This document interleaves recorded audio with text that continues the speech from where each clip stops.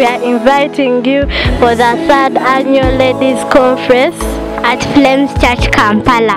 Abooluganda yesu bazibwe twaniriza abakyala n'abawala bonna bajjajja. Tusinze omutonzi waffe tumusiime byatukoledde byonna. Tuyimbire wamu tusinze amazina abaweereza ab'enjawulo bagenda kubeera wamasikyo.